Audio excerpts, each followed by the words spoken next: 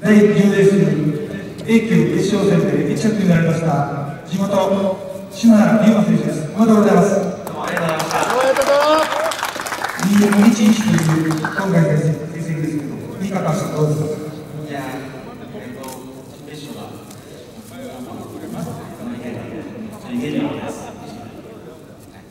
今日は作戦通りの展開でしたいや全然作戦通りですはい調子もいいの、次回高知出走の時も。はい、あのまた月そうなので、頑張ります。